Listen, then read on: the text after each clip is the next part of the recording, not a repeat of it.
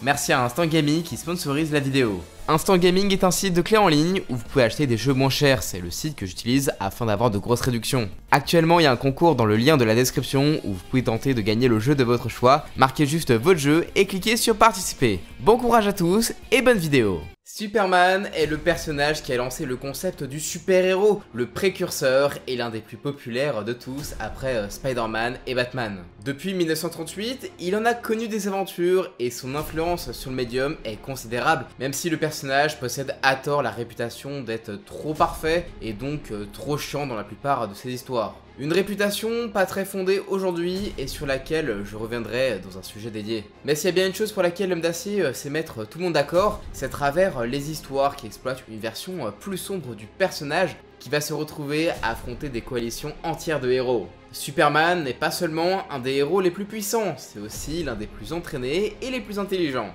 S'il était mauvais et qu'il souhaitait euh, causer le chaos, il n'aurait aucun mal à éliminer des héros de premier rang en utilisant sa vitesse hors norme et en combinant euh, ses différents pouvoirs, tous plus puissants et versatiles les uns que les autres. Les histoires mettant en scène un Superman sombre et violent sont très populaires aujourd'hui, même si le film Superman 3 avait déjà mis en scène une version maléfique du super-héros. On pense bien sûr au Homelander, dont le charisme n'a d'égal que la cruauté, et à d'autres productions plus modestes comme le film Brightburn qui imagine un jeune Superman venu sur Terre pour la coloniser, un vrai Saiyan de base quoi. Bref, aujourd'hui on va rester concentré sur les comics et découvrir 12 versions très menaçantes de l'ami Clark. Allez, c'est parti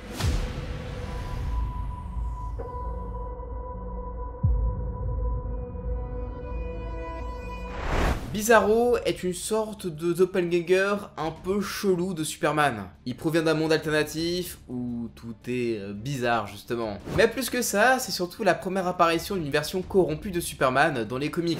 Conçu à l'origine comme un méchant one-shot qui devait mourir définitivement, il a tellement plu aux fans qu'il a été euh, ramené à la vie mais également euh, redcon de multiples fois pour s'adapter au changement de l'univers d'ici. Ce qui est un petit peu dommage car les raisons même de son existence varient d'un comic book à un autre. Au niveau des capacités, il possède de lourds handicaps, mais aussi de très gros avantages sur son homologue du monde réel. Comme il est une version opposée à Superman, ses pouvoirs sont assez différents. Il possède donc un souffle enflammé et une vision arctique, ce qui est sans doute moins bien offensivement que les pouvoirs de l'original. De plus, à la place de pouvoir voir à travers toute chose sauf le plomb, bah Bizarro n'est capable de voir qu'à travers le plomb. c'est un peu pété comme pouvoir. Et aussi, c'est sans doute le pire, mais Bizarro est complètement con. Non mais vraiment, son mental est diminué à un point que vous n'imaginez juste même pas quoi. Le gars, c'est pas le pingouin qui glisse le plus loin. Bizarro est censé être plus fort que Superman sur le plan physique, mais il ne peut accéder à tout ce potentiel en raison de son cerveau dysfonctionnel. En revanche, cette euh, stupidité le rend parfois imprévisible car il est incapable de réagir de manière rationnelle. Aussi, Bizarro s'auto-alimente en énergie et n'a pas besoin d'une source extérieure comme Superman qui dépend de son exposition au soleil sur long terme. De plus, il est totalement immunisé à la kryptonite verte qui lui permet au contraire de devenir un être d'une intelligence supérieure. Après, euh, ne comptez pas trop sur lui pour penser à s'équiper de kryptonite verte pour affronter le acier. Même après des millénaires de réflexion, bah ça restera hors de sa portée. Alors, je sais que ça risque de vous étonner au premier abord, mais c'est le véritable Superman que vous avez sous les yeux, et non une version alternative. En plus de ses pouvoirs habituels, il faut savoir que Doomsday émet des toxines qui rendent quand même euh, dangereux à n'importe qui qui a eu un combat euh, prolongé contre la créature. Si vous êtes infecté par les spores, vous pouvez euh, mourir ou tout simplement voir vos molécules reconstituées pour faire de vous une créature Doomsday-like. Après avoir une nouvelle fois combattu la créature et l'avoir coupée en deux, Superman a inhalé intentionnellement l'ensemble des spores dans la zone pour éviter que quiconque se fasse contaminer. Il s'est transformé euh, petit à petit, mais il a réussi à garder le contrôle de lui-même et à reprendre sa forme originelle grâce à sa volonté. Il se servira de cette transformation pour venir à bout de plusieurs méchants avec euh, violence quand même, et sera même déclaré ennemi de la nation par l'armée américaine en raison de sa dangerosité. Après avoir vaincu euh, seul Brainiac et son armée, euh, ouais, c'est dire la puissance de la créature hein, quand même, il perdra le contrôle à la manière de Guts avec son armure Berserker. Heureusement, Lois Lane réussit à le soigner en utilisant les pouvoirs de Brainiac. Cette transformation est évidemment très contraignante car les sports finiront toujours par vous rendre fou et avide de destruction si vous ne vous en débarrassez pas assez rapidement. Il existe plusieurs versions de Cyborg Superman, mais aucun n'aura marqué l'histoire des comics comme l'a fait Hank Henshaw, l'un des plus grands adversaires de Superman de tous les temps. Après la mort de Superman des mains de Doomsday, un étrange cyborg a fait son apparition sur Terre en prétendant n'être personne d'autre que la réincarnation de Superman. Ouais, rien que ça. Les habitants de Metropolis l'ont tout de suite trouvé assez louche, mais le cyborg rétorqua qu'il avait simplement réparé les dégâts subis lors de son duel avec des pièces mécaniques. Et vu la violence du combat, cette justification est en fait plutôt crédible. Il commença à reprendre le rôle de Superman sur Terre de manière très exemplaire avant que l'on ne se rende compte qu'il avait orchestré la destruction de Co-City, la ville de Green Lantern, en s'alliant au super vilain mongol. On découvrit plus tard qu'il était un astronaute de l'Excorp et qu'il avait été victime d'une éruption solaire pendant une mission, ce qui le tua lui et l'ensemble de ses camarades. Hank a juste transféré sa conscience dans les serveurs de l'Excorp afin de pouvoir être reconstitué sous une forme mécanique et prendre vengeance de Superman qui croyait responsable de sa situation puisque celui-ci avait envoyé l'éradicator dans le soleil. Évidemment, les deux événements n'avaient aucun rapport, mais Hank avait besoin de se convaincre du contraire pour accepter la situation. Hank est un technomorphe et peut contrôler euh, toute forme de machine, transférer sa conscience à l'infini, le rendant euh, très difficile à vaincre définitivement. Il possède également une batterie de pouvoir euh, similaire à ceux de Superman, sans la faiblesse à la kryptonite évidemment, et l'un des plus puissants personnages que l'homme d'acier a jamais affronté.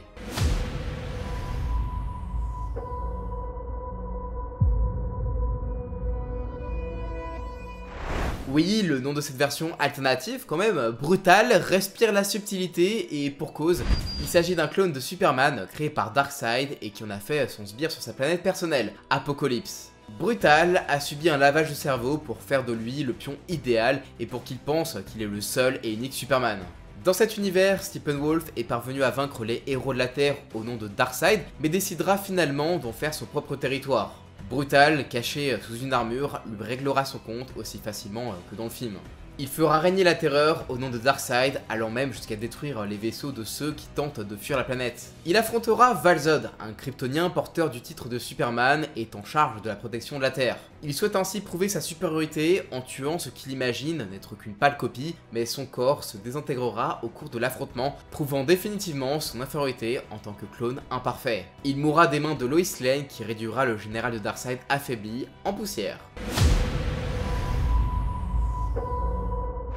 Vous connaissez peut-être Superman Red Son, un récit emblématique où Kal-El se serait échoué en URSS plutôt que dans le Kansas. Eh bien, rebolote. Et cette fois-ci, il s'écrasait en Allemagne, en 1938. Ouais, le fun quoi. Le jeune kryptonien sera élevé par des nazis comme l'exemple même du surhomme arien et se fera appeler Overman. D'ailleurs, il a permis à l'Allemagne de gagner la guerre, de conquérir la planète entière et de lancer l'ère du 4ème Reich. Toutefois, bien que matrixé et persuadé d'agir pour la seule cause qui mérite d'être défendue, Overman se sentira trahi et comprendra qu'il a été utilisé et décidera de vouer son existence à corriger les erreurs qu'il a commises. Et sur papier, l'histoire, elle est sympathique, mais dans les faits, euh, elle est bien moins exécutée que Redson et part euh, totalement en couille quoi. Overman travaillera donc à créer un monde idéal, mais de se confronter à l'incarnation du patriotisme américain, un super-héros nommé subtilement l'Oncle Sam, et qui refuse d'accepter euh, ce monde construit sur des ruines. Ce qui peut sembler assez culotté de la part des Américains quand même. L'univers de DC Comics regorge d'univers alternatifs et le Dark Multiverse fait partie de ceux où tout ne tourne pas rond. Dans cette réalité, Superman est à l'origine un être similaire à celui que nous connaissons tous, mais un jour, bah, sans qu'on ne sache pourquoi, il est devenu complètement fou. Immédiatement, il se mit à tuer des millions de personnes, y compris ses proches et d'autres super-héros.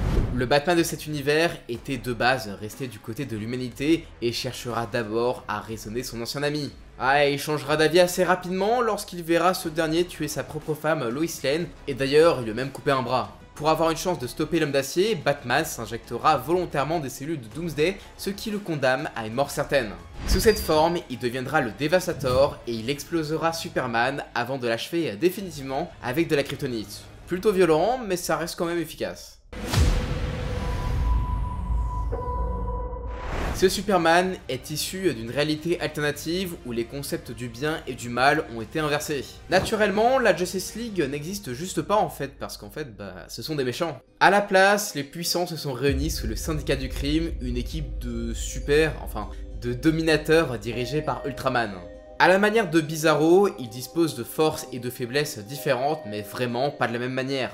Il est ainsi totalement immunisé à la kryptonite, dont il se sert comme drogue pour se shooter. Il est également totalement invulnérable à la magie, mais doit en revanche rester dans l'obscurité pour maintenir ses pouvoirs à leur plus haut niveau. Et il a trouvé une solution totalement over the top pour ça. Il déplace régulièrement la lune manuellement pour créer des éclipses et combattre du coup à son plein potentiel. Alors, d'accord, mais les tsunamis, ça doit être vraiment quelque chose sur cette terre. Ces versions corrompues de la Justice League ont attaqué en fait la Terre euh, principale. Les héros ont été mis euh, hors d'état de nuire et donc du coup ils sont tombés contre les méchants euh, de la Terre Prime, prouvant que les méchants de notre monde sont supérieurs. Du coup Ultraman affrontera leur chef Lex Luthor mais sera vaincu grâce à l'intervention de Sinestro et de Black Adam qui feront en sorte de l'exposer à la lumière du soleil pour réduire sa puissance.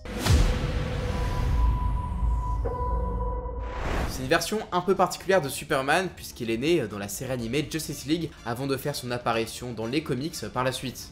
Le personnage a connu un joli succès, principalement en raison de son look qui est quand même incroyable.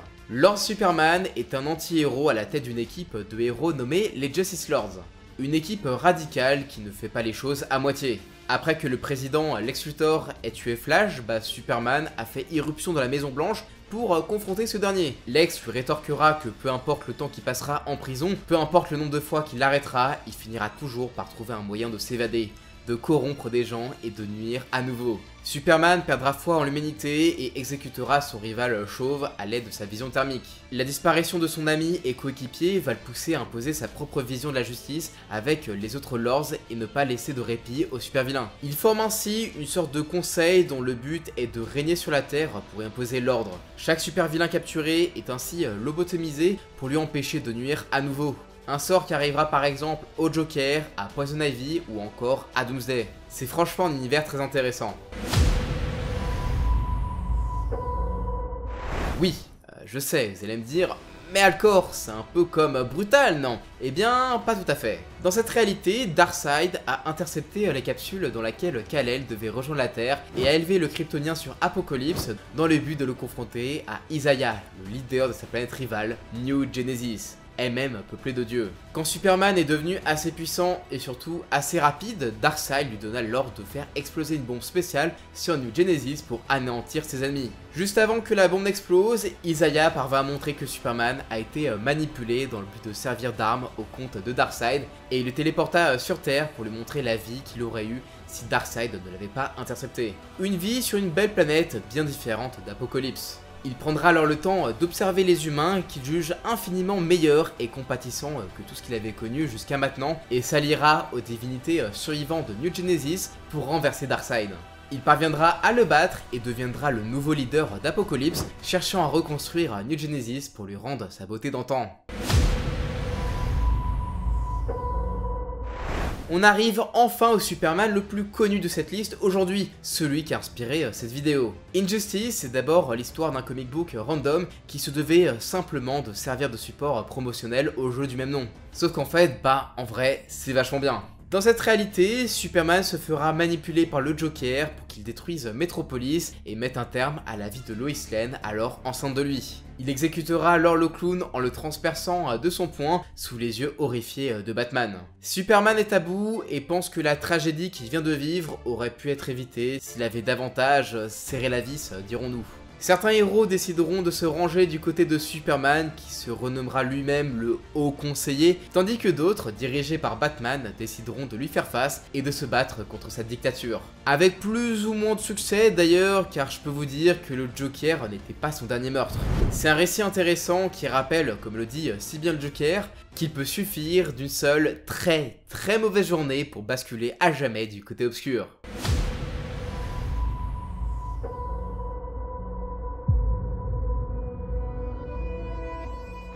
Là vraiment, on rentre dans une autre catégorie, ces personnages beaucoup, mais alors beaucoup plus puissants que le Superman original. Superman Prime vient de Earth Prime, un univers où les héros n'existent que dans la fiction, bien qu'ils soient réellement Superman. Pendant l'événement Crisis on Infinite Earth, son univers sera détruit par l'Anti-Monitor, mais il décide de continuer le combat à côté des autres héros pour le bien.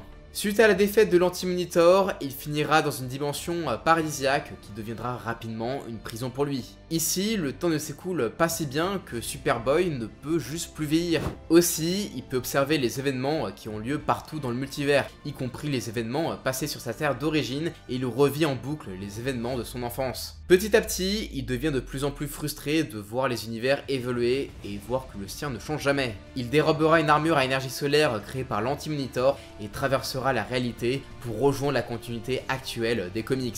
Cette irruption causera des dégâts au multivers qui servira d'excuse aux scénaristes pour expliquer euh, certains changements et incohérences de la nouvelle continuité. C'est comme ça que Jason Todd a pu revenir notamment. Il essaiera de créer son propre monde idéal en assassinant des mondes entiers. Suite à sa défaite dans Infinite Crisis, il sera enfermé dans un champ de force quantique, lui-même à proximité d'un soleil rouge et sera gardé en permanence par 50 gris lanternes. C'est un personnage abusivement puissant, capable de vaincre n'importe quel héros de la Justice League, de n'importe quel univers, sans faire le moindre effort et il deviendra rapidement une menace multiverselle. Il peut aisément soulever des planètes, il est immunisé à la magie, peut contrôler l'antimatière et ne dispose pas de faiblesse à la kryptonite comme dans son univers. Krypton a été englouti par le dieu Rao et n'a jamais explosé. En revanche, il est toujours vulnérable aux radiations à des soleils rouges et en raison de son instabilité mentale, il ne dispose pas d'une bonne résistance aux attaques psychiques. Contrairement à Superman qui dispose d'un tel mental qu'il y est quasiment immunisé. On l'oublie souvent, mais Superman est un très bon journaliste et par conséquent un très bon investigateur. Au cours de ses aventures, il sera emmené à enquêter sur de mystérieuses disparitions d'enfants à Metropolis. A l'aide de sa supervision, il remarquera qu'une étrange lumière jaune se concentre autour d'une école abandonnée. Il finira par se décider à explorer le bâtiment et découvrira que les enfants ont été kidnappés par l'entité cauchemardesque Parallax, l'incarnation même de la peur dans l'univers. Un être que Superman ne peut affronter seul. Parallax souhaite s'emparer du corps de Superman pour avoir un hôte surpuissant, mais en raison de la volonté du plus grand des héros, il est incapable de le faire. Parallax a alors torturé les enfants sous ses yeux, jusqu'à ce que celui-ci cède et se laisse contrôler par la créature, en échange de la libération des enfants. Il arbore alors une apparence vraiment, mais alors vraiment effrayante. C'est alors que Sinestro apparaît et attaque Superman, et comme personne d'autre que lui ne maîtrise à ce point euh, la peur, il parvient à le maîtriser et souhaite capturer l'entité pour l'utiliser à sa guise, mais finira par épuiser euh, son pouvoir et échouera. Superman, qui aura repris le dessus, parviendra à utiliser sa propre peur pour enfermer euh, Parallax dans un anneau de Yellow Lantern et repousser ainsi temporairement l'entité. Voyant qu'il n'était pas de taille face à Superman, Sinestro en profitera aussi pour s'enfuir, tout est bien qui finit bien. Le moins que l'on puisse dire, c'est que là, on a à boire et à manger avec toutes ces versions, euh, même si bon, un bon paquet euh, se ressemble. C'est un peu ironique de se dire que la version la plus iconique du lot n'est même pas issue euh, des plus de 80 ans d'histoire du personnage, mais plutôt d'un jeu vidéo. Enfin là, c'est uniquement si l'on tient compte des versions qui sont directement liées à Superman. De nombreuses œuvres de fiction proposent des personnages volontairement inspirés de Superman, bons ou mauvais, et qui connaissent souvent un très grand succès aujourd'hui en réactualisant l'univers de l'homme d'acier. Un peu comme Invincible par exemple, qui était déjà considéré comme étant un excellent comic book et qui a été mis en avant par cette très bonne série. Du coup, j'aimerais bien savoir quelle est votre version préférée et s'il n'y a pas d'autres héros pour lesquels vous aimeriez bien voir une vidéo similaire ou même une vidéo dédiée sur une forme unique d'un héros bien connu. N'hésitez pas à me suivre sur TikTok pour avoir plus de contenu inédit et de nombreuses anecdotes sur les super-héros. Et moi je vous dis à la prochaine, ciao